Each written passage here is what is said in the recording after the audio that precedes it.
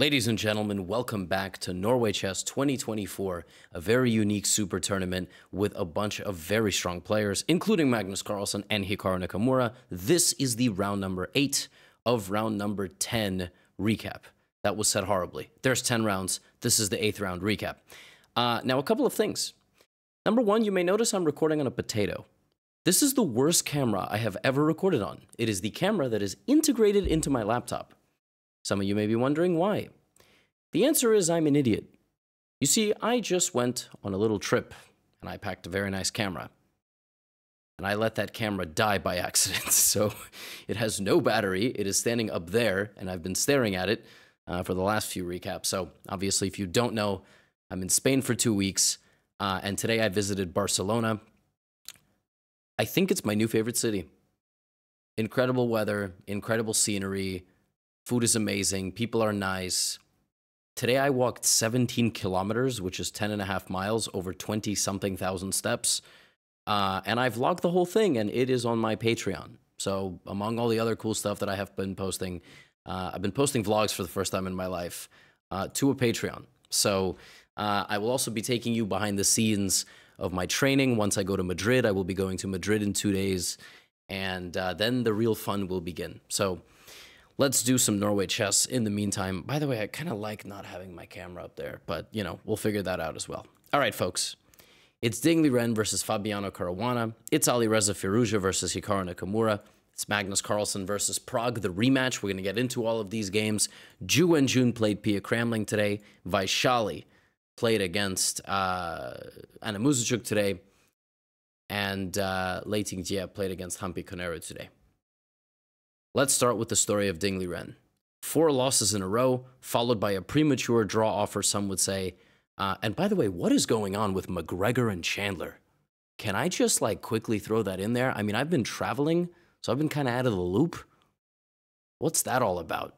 Anyway, Fabiano Caruana plays the King's Indian defense. That's wild.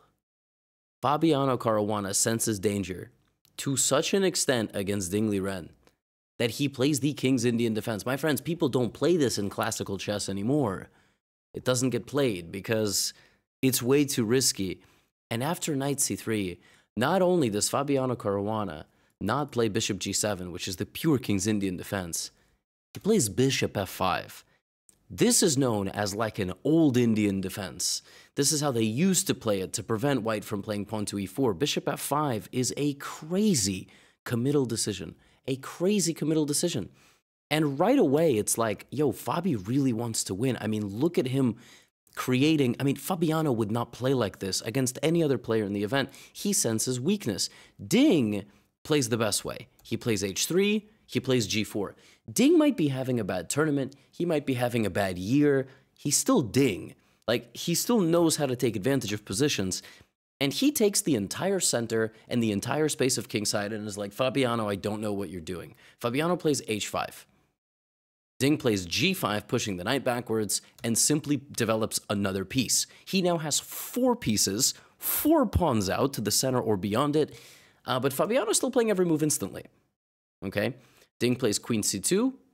Now we have a6. I mean, Fabiano spending 20 minutes and pushing a pawn to the a6 square is pretty wild stuff. Clearly, he was calculating all sorts of things, you know, your, your knight c6, your c5, your e5, this type of stuff. Now Ding plays this move d5, which disallows Fabiano's knight from developing to c6, and then he trades off his bishop with bishop takes g7. It was not the engine's preferred choice of action, but it's a very logical decision, and then Ding just plays this very solid b3. And Fabiano went to the confessional booth around here and was like, you know, I was worried Ding was going to do stuff like knight to h4 followed by f4, f5, you know, which is like much more violent and much more in the spirit of the development of the position. But it's almost like at some point every game, Ding is just having this moment of like hesitation. And listen, I would know, I have this all the time. Um, and he plays this in just a very restrained way, almost as if saying, like, I don't really want to fight. I kind of want to play a solid game of chess. I'm fine with a draw, just like he did yesterday against Pragg. Yeah, Fabi was having none of that. So Fabi took on c4 twice and put his knight on c5. Uh, the computer here really wanted him to play e5 right away, but okay, knight c5. Bishop g2, Fabiano takes, and continues to try to be provocative with Ding, getting him to take en passant, getting him to castle. And I mean, Fabiano has just created an absolute mess. And guess what? He is just worse. I mean, he's just down a full pawn. So Fabi got a position where the engine even thought he was slightly better. At least he was not worse.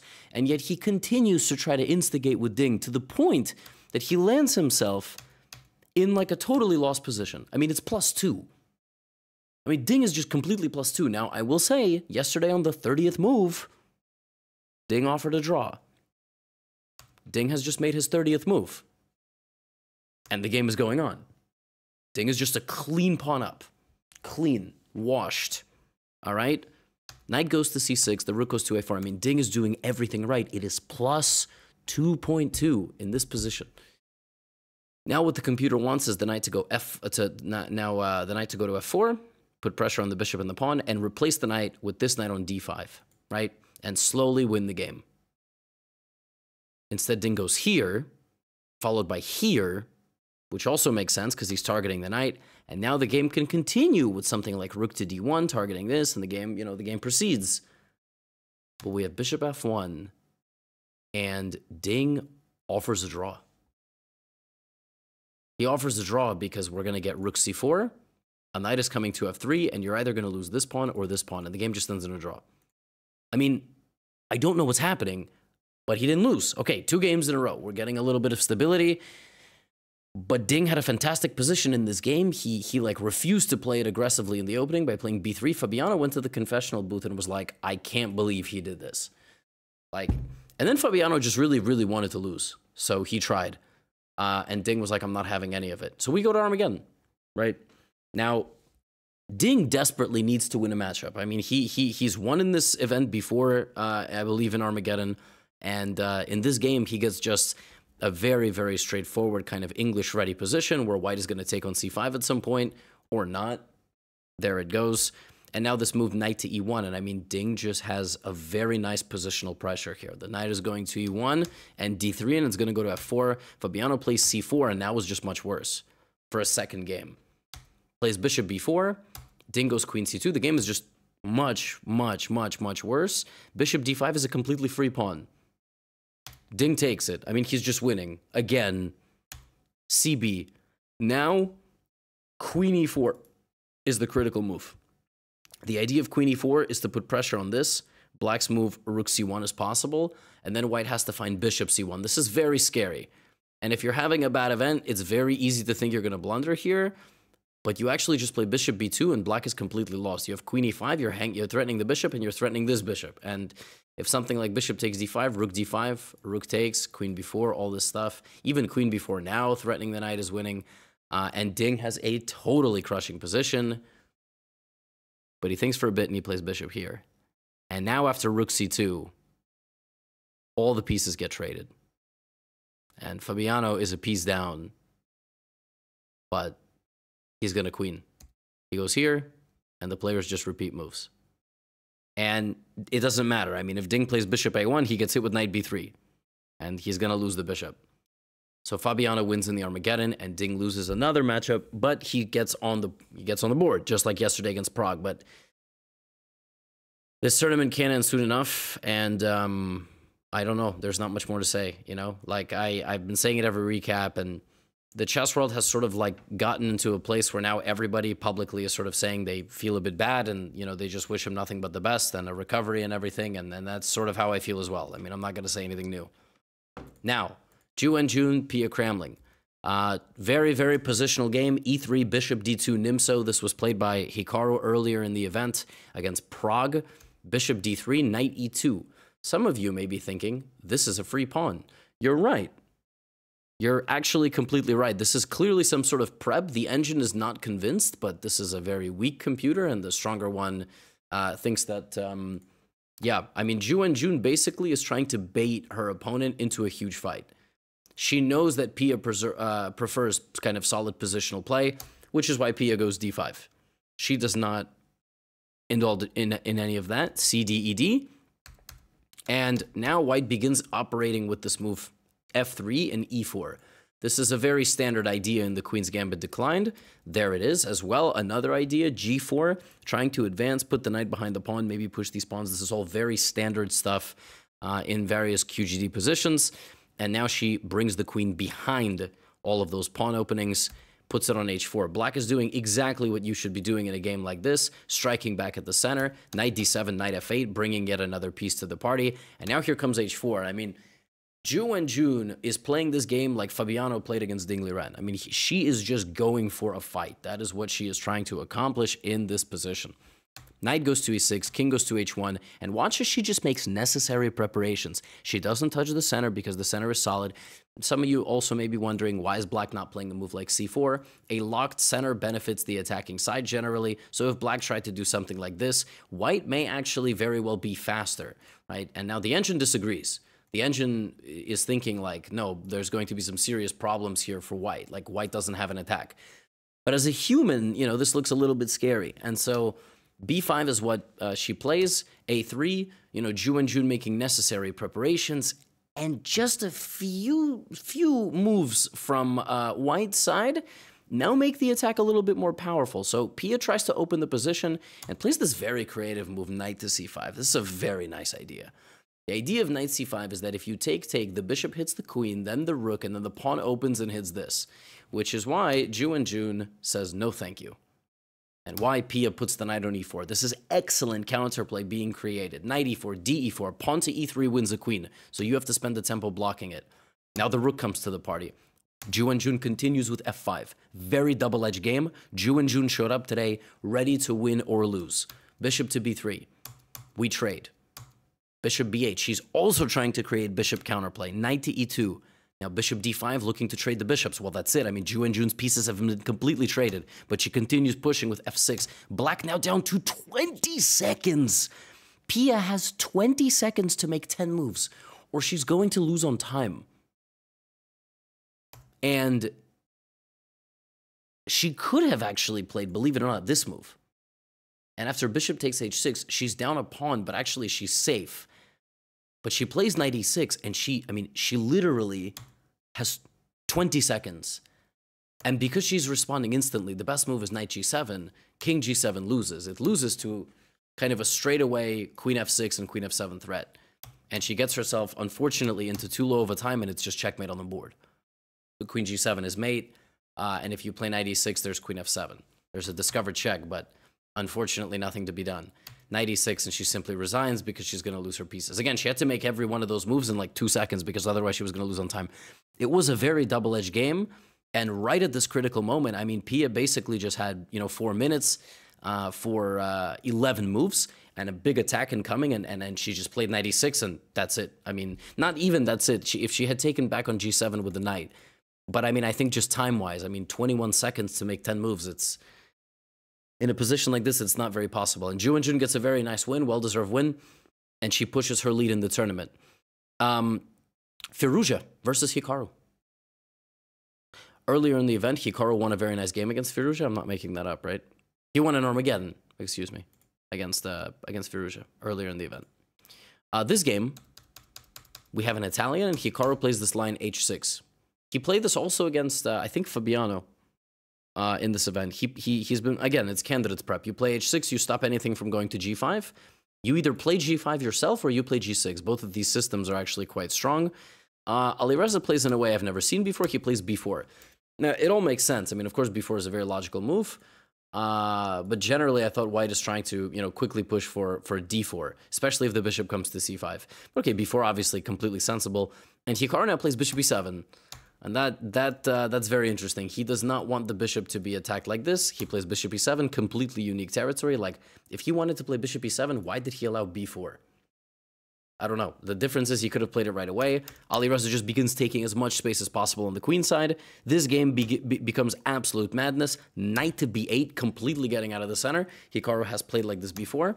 Now the queen goes back to a2, sidestepping various things, and... Um, and, uh, whoops, I don't know what I clicked.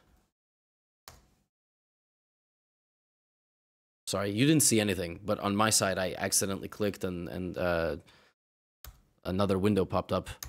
b5, like my OBS popped up where I was recording. Bishop g4, and uh, this game gets very exciting. Hikaru, look at this, sacrifices a pawn. This is a, this is an AlphaZero idea. Like this is a fascinating idea. Giving up a pawn, and either getting white to give up his bishop, which is just losing because of this, um, or getting white to block his own center. And then you play here, and suddenly it's like white doesn't feel like he's up a pawn and black is going to create an attack. And watch as Hikaru, you know, again, white's position is actually kind of tough to play. Hikaru just gets to this situation and just starts bringing in his pieces. Knight h5, g4. It's crazy how Reza played g4, but the thing is, you know, if white plays like knight d2, I mean, black is going to just start, it's going to be like an avalanche. So g4, Knight comes to f4, and Hikaru is just, I mean, dominating Alireza on the king side completely. Like, somehow this bishop feels like it should be trapped, and yet it's the aggressor. And here comes h5 by Hikaru. I mean, Hikaru completely dominating with black. gh5. Hikaru's two pawns down. F5 now, taking more space away from the knights. Queen g5 ideas, rook f6, rook h6, taking here ideas, like knight f6, knight h5. I mean, so many different ideas. The engine just wanted him to play knight f6 or rook e8. I mean, both of those moves also make sense. It likes rook e8, rook e5, and then maybe potentially rotating over here, right? He does it like this, and Alireza now starts playing his own pawn sacrifices, looking to create some openings over here, right? There's the rook under attack. Hikaru is still better position, looking absolutely dominating here. Alireza playing c4, looking to fork the pieces. The bishop sneaks out. The pawn continues moving forward. And now Hikaru trading off the pieces. Knight takes d5. We take a sigh of relief. We count the pawns. Both sides have six of them. Hikaru must be better here. I mean, his position looks spectacular. He is better. Bishop c4. Ah, the computer really wanted him to defend with the pawn. It didn't want him to move his rook to the center. He plays rook d8 and gets out of the center like this, but now Alireza has time to activate his queen.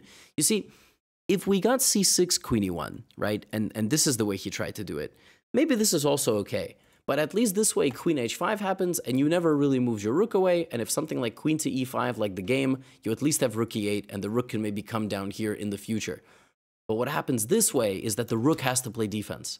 And by playing defense with the rook, suddenly Hikaru is forced to go into a series of exchanges, and we end up in a rook and knight endgame where still black is doing a little bit of pressing, but it's just not enough.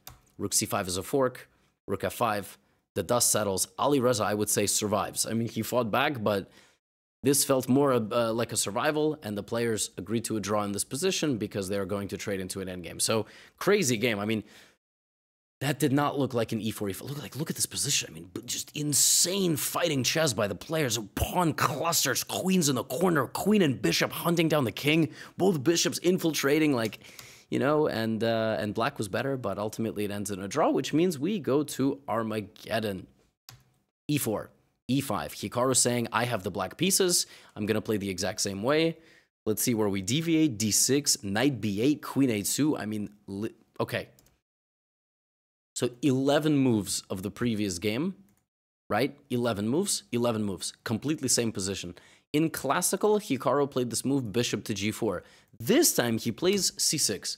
So he changes the line so Alireza cannot, uh, cannot memorize anything. 92, and now he plays bishop g4. Bishop h5, d5.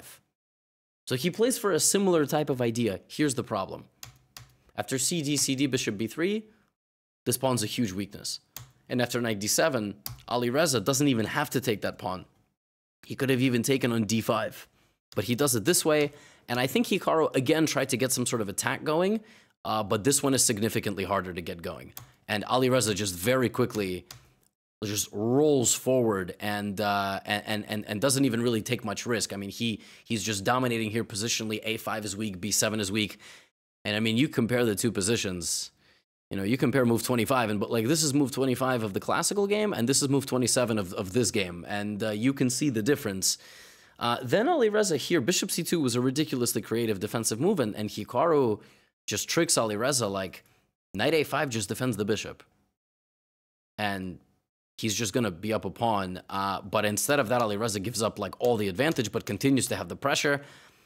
Rook uh, a1 here was a winning move, which is completely unfindable trying to defend the pawn tactically. Uh, but ultimately, again, Hikaru just doesn't have the time. And uh, he unfortunately blunders, and uh, Alireza wins all the pawns, and he wins the Armageddon in a very deserved fashion, up three minutes on the clock. He maintained his time advantage from start to finish. The Armageddon does not work out in Hikaru's favor, and Alireza gets the job done. Very well done um, from him. Vaishali versus Anna Muzychuk. This one was a Jobava London. Vaishali mixing it up, playing some crazy openings because the last two rounds did not go her way. She has this very odd pawn formation in the center. She's trying to get Anna to take her, uh, and Anna doesn't do that. She does not oblige. Uh, the thing is, in this position with no bishops and such a closed structure, white tries to put a little bit of pressure, but it's kind of a frozen situation in the center of the board. Very quickly, the queens come off, and the structure gets locked, and uh, there's no way into black's position. There's just no way in because of the structure. It's not it's not a mobile pawn structure. Black is very passive, but completely fine. And again, you see Vaishali here trying to make some sort of progress, but there is no progress to be made. Uh, black just sits, sits and waits. Now, DC closes off the entire C file, so obviously nothing is going to happen. And uh, quite soon we will probably get to a drawn position as Muzychuk, yeah, I mean, this is just, you know, if actually, if anything, after here, uh, Rook B8 followed by B5. And actually, maybe Black is the one playing for a win, but she hesitates, gives White a chance to kind of blockade.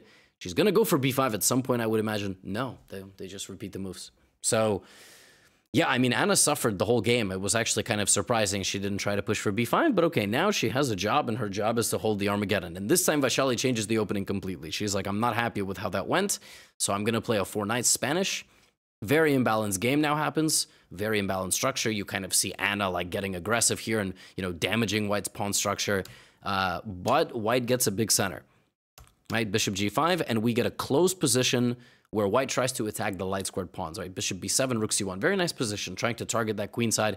Black plays c5, gambits a pawn. She did not blunder it. I think she just didn't like what was incoming. I think she didn't like, for example, queen b6 just loses to pawn takes pawn. If bishop takes, I take this. If this, just knight d5 and you resign. So you resign because knight c7 with the rook. I will explain it to you. So white just goes a pawn up.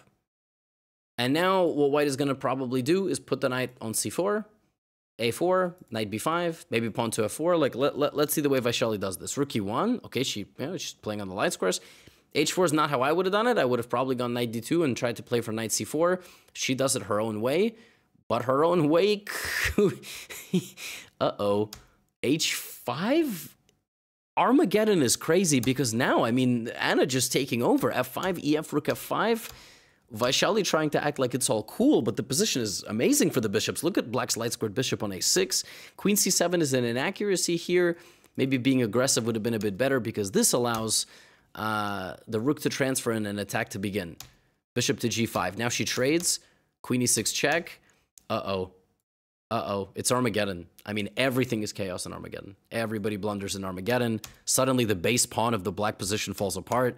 Now the bishop is gone. Now in this position, rook e4, and one of these two moves just wins because you end up picking up the pawns, but it's b4, and I mean, black is still probably like losing, but it's equal, but rook c4, now rook c5, and uh, now white is just going to push the b pawn. And both players here play with five seconds on the clock. I mean, it's complete chaos. They're hitting the clock. They're not losing on time because it's one second bonus. It's equal. It's not equal. It was winning for white. Now it's fortress. And in this position, Anna Muzychuk loses on time. so Vaishali went back to her hotel room and was like, yo, I just flagged this girl. yeah, Anna, I don't know. I don't, I mean, I guess King G8, she saw something she didn't like. She didn't like that white can get in with the rooks. She probably saw like rook c8, you know, if king h7, like this is mate. And, uh, she, you know, she wasn't sure about king f7, so she didn't go for it and she lost on time. Now, there was Lei Tingjie versus Humpy, and then we have Magnus versus Prague. Lei Tingjie. All right, we have uh, a Queen's Gambit accepted with e4. There are a lot of lines here for black. b5 is the most aggressive. e5 is very positional. Not a lot of people are playing the e4 Queen's Gambit accepted nowadays because they're nerds. Because they're nerds. They're dorks. They, they don't like to play like this. Um, this, this becomes a very sharp and open battle. e d4, knight d4, very sharp bishop c4. Actually, Humpy played this move knight d7, and uh, it must be some sort of prep because I've never seen it, and you see the low depth engine here really doesn't like it. It doesn't like it because of the move bishop takes f7, which it claims after king f7, queen b3 check, something like king e. Oh, king f8 would be bad because queen b queen that would hang up queen.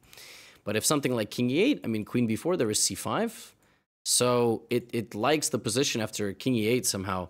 Uh, but okay, white plays f3. I mean, she plays f3 almost without thinking. Castles, castles, and uh, now now we begin a middle game. So bishop f6, Humpy allows the damaging to her pawn structure. The knight goes to a4 to kick the queen away. The queen does get kicked away. Now we kick out the bishop. All right, knight b5. trying to take the bishop, damage the structure. Black goes rook d8, doesn't want the structure damaged.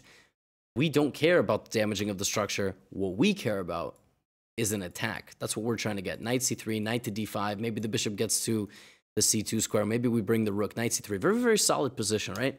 Okay, now we're trying to play pawn to f4. Knight f4. Rook d1, because we want to fight back on the d file here from Lei, right? It's a very stable position, but white is better because of the pawn structure. Now she trades. She trades because she replaces the rook very quickly.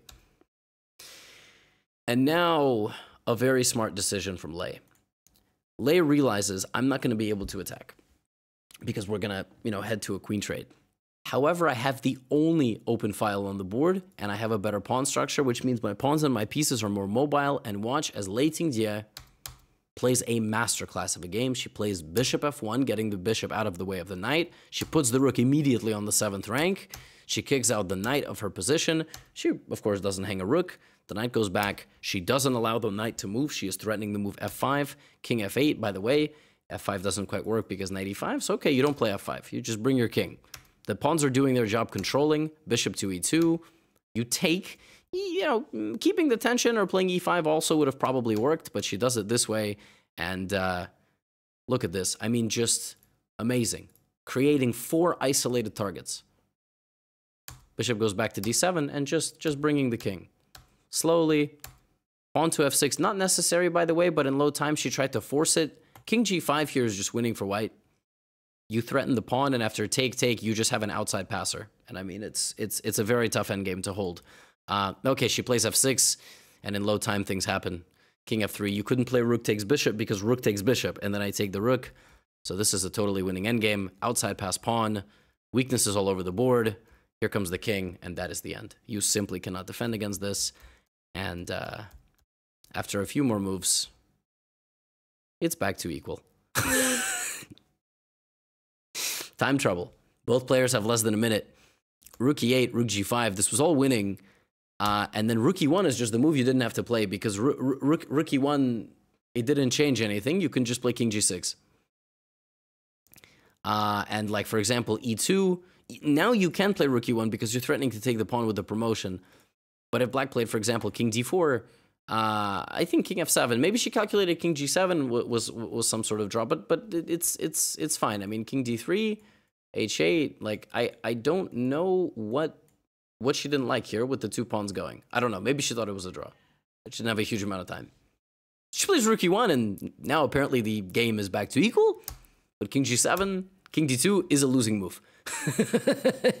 End games are so tricky. You have to start giving checks, or you have to play. Uh, yeah, you have to you have to start giving checks, like rook e7 and then and then king d2, rook e7 then king d2. She goes here, and now the rook goes back to h1, and this is winning because take king takes, and you do not have time to do everything you need in the position. And Lei wins. Lei almost didn't win. She almost snatched a, a draw, or yeah, she almost snatched a draw from the uh, jaws of victory. But she gets the job done. A deserved win with a little bit of chaos. I mean, everybody gets low on time and does completely crazy things. And that brings us to our last game of the day Magnus Carlsen versus Praggnanandhaa. Pragg defeated Magnus earlier in the event, so this would be a very interesting game to see how Magnus will try to attack the young man. Bishop to b5 is the Spanish, knight to f6. Um, I don't know what happened here. I don't know why Pragg spent a minute on the first move of the game playing e5, but maybe he was just remembering his openings or maybe he was meditating. And this is the open Spanish knight takes e4. So it's an open Spanish. Black is now going to rely on b5, d5. The board is going to get very open. There's b5, there's d5, d5, bishop e6. Now white has many approaches, which generally involve playing c3 and knight bd2. Uh, Magnus doesn't do that. He plays queen e2 and rook d1 and then c3. So he plays this setup And then he has to commit these pieces or play bishop here, putting pressure on the center. Black's counterplay is completely and only associated with the f pawn. So if black was not able to move the f pawn for the rest of the game, he would get into massive trouble. If he had to leave the center, white would play bishop c2 and generate a massive attack. So he plays f5. Magnus takes en passant because he's a cultured man. Knight bd2. I literally just said that move. And we get to a position of relative stability just in a moment. Uh, this is the position of relative stability. So white has an interesting structure. So does black. Black has a 4 on 3 and a 2 on 3. White has doubled pawns. White has a target over here. White is pinned down the center line. And maybe in the long run, it's black's king who's going to be weak. So Pragg tries to trade pieces because he's that knight is not particularly great. It's not doing a whole lot. So we trade. And now we play a4, trying to target those weaknesses on the queen side. Pragg plays c6. And around this point, Pragg went to the confessional and was like, you know, my position's unpleasant, but I think it's completely holdable. Like, I think this is not really the position you want to play against Magnus, um, but it's holdable. So now Magnus repositions his queen and his rook. So he wants the queen with the bishop on the diagonal. He also wants the queen on the d file. He wants the rook on the e file. Bishop g6. Again, you notice how Pragg is just trading off his pieces. Magnus trades, the queen goes away from the center, and now he says, okay, let's trade the next bishop. I'm going to play over here. That's what I'm going to do. And we're going to both battle for the eight. Now, here, Pragg plays a ridiculously sophisticated move. Pragg's move here is outlandish. It is counterintuitive.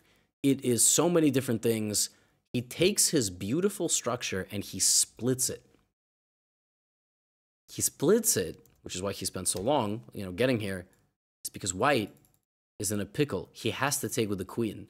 He is not able to take with the rook. If he takes with the rook, he loses the rook. So he has to take with the queen. And now look at this c5 move.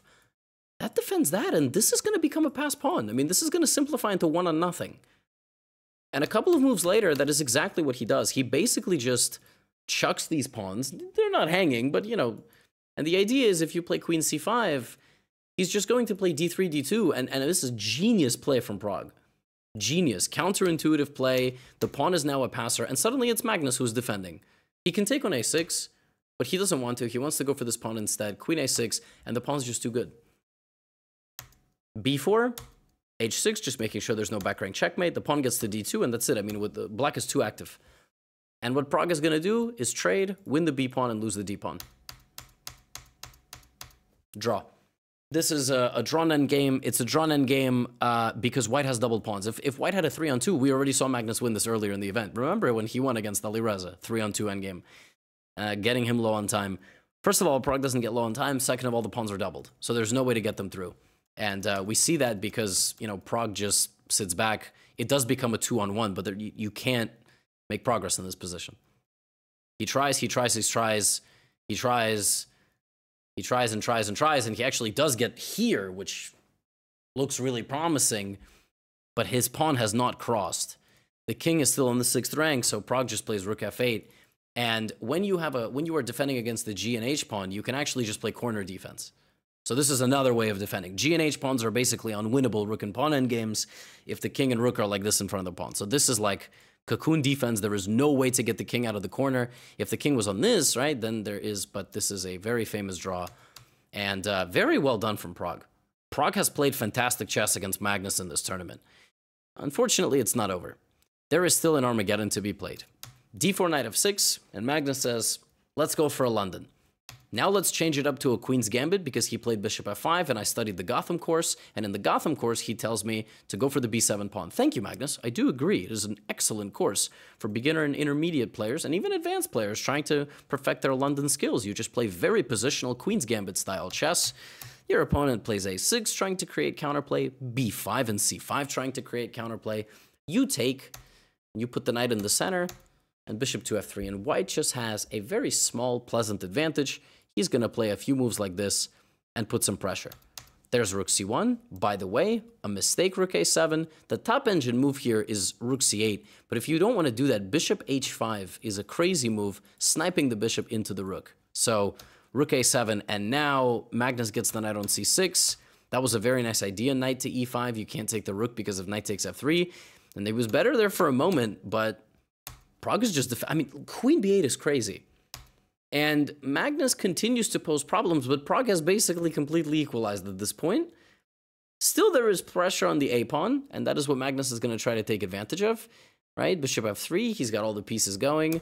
Now he takes on d5 and plays this move b3. And right here is Pragg has to make a couple of good decisions.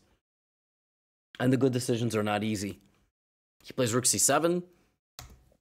Clever idea, knight to e6. That's a checkmate, by the way. Queen d4, knight d4. And this is just not an easy endgame. Black has two weaknesses and white has one. And that's basically what this is going to come down to. In a minute and a half time advantage, right? Bishop c2 looking for counterplay. Rook c1, rook f1 was even better. Bishop d3. And Magnus just says, look, you have two weaknesses and I have one. So what I'm going to do now is I'm just going to put my king right on d2. I don't care if it's equal according to the computer. It's not really, you know, this is a very difficult endgame to defend. Bishop goes back to d7, king b2, king c3, knight e2, puts the king in the center, and now Pragg clears out. Pragg's drawing. He's actually done it. I mean, the absolute mad lad has done it. This is an extremely unpleasant endgame to play, and Pragg decides he has to lose the pawn, and time will become a factor in this game as Magnus dominates him on the dark squares, continues to ask questions, and finds knight to d7. The extraction technique here for white is so ridiculous. You have to put your king there, knight d7 to force the king this way, and then bring your king closer and then reposition your knight. Look at the way Magnus does this, like a freaking surgeon. Look at that. Knight here, knight b7, knight d6, knight f7. Unbelievable. E6, black is boxed in. He loses because the king cannot stop the pawn from promoting. the way Magnus wins this endgame is just complete magic. It's an equal endgame, but he maneuvers and he finds this. It's just otherworldly. Like, I don't even know what to say. It's bananas. Uh, folks, after eight rounds of action in the women's side, Ju Wenjun is winning by one and a half points. Anna Muzychuk at this point in second place, and uh, Vaishali and Lei are tied. Vaishali has slowed down a bit. It's Ju Wenjun's tournament to lose, I would say. And uh, Magnus Carlsen and Hikaru still separated by one point. Hikaru losing in Armageddon today. Hikaru uh, Magnus winning in Armageddon today. But it's close. A win in Classical for either of these guys could do it, folks. Uh, sorry for the potato camera quality. It's 12:45 in the morning here uh, where I am in Spain. I'm gonna get some rest. Thanks for watching. Vlog will be up on the uh, Cameo. Very excited about that, and uh, more behind the scenes content on the way as well. Appreciate y'all very much, and get out of here. You know the drill.